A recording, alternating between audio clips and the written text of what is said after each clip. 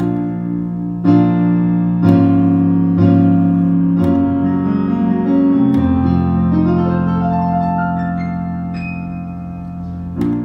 you search for tenderness, isn't hard to find.